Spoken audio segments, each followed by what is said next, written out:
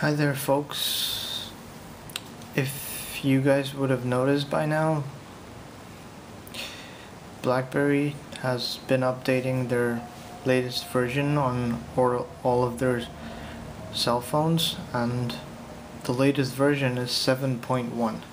The update has been coming across the whole globe but because it's based here in Waterloo so we're getting the update first here in Canada and the US so I'll just go ahead and show you guys what the OS 7.1 has in store. So let's go ahead and see some of the new features. There are five new features in the OS 7.1 First is mobile hotspot. For, for all of you who don't know what mobile hotspot is, let me just briefly explain what that is. So normally when you open like the menu screen you have your mobile network, you have Wi-Fi, you have Bluetooth and NFC on some of the new phones if you have a new one. This is a Bold 9900 by the way and on top of Bluetooth you see mobile hotspot. Now what this basically does is if you have signals on your phone and uh, let's say you're at the airport or you're in a bus and there's someone there who doesn't have signals or you know doesn't have a SIM card in their phone so they can get signals you can just go ahead and turn on your mobile hotspot and then they can just use your data plan. It's as easy as that.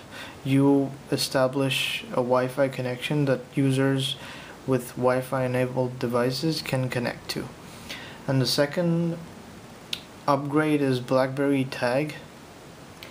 I'm not very familiar with this upgrade but what I believe is that there's a chip. Let me just quickly show you guys what that is. Blackberry tag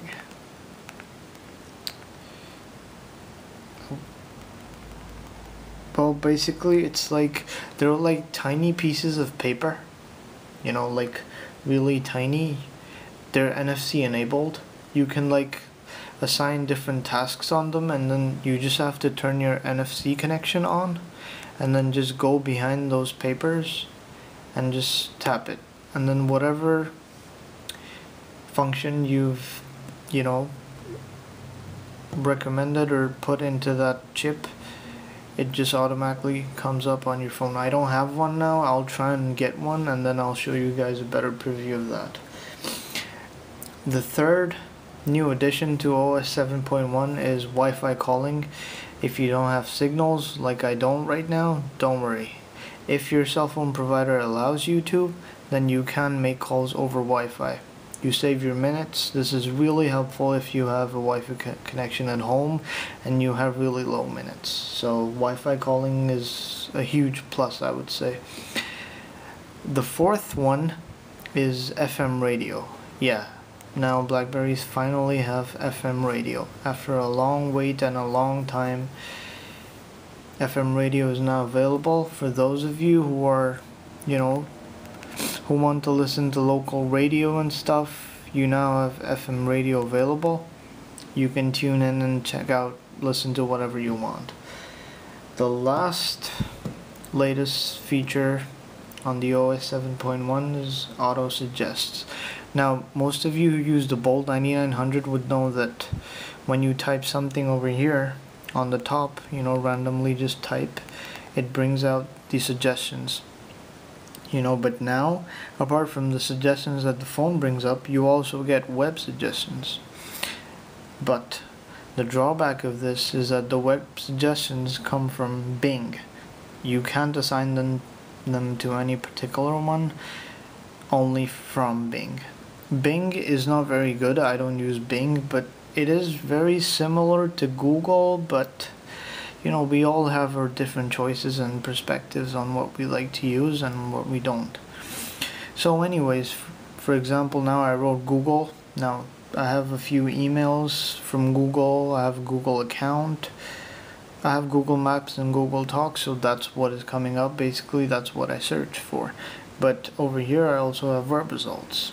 I have Google.com, you know, all that good stuff. So yeah, in a nutshell, guys, these are the five new features to OS 7.1.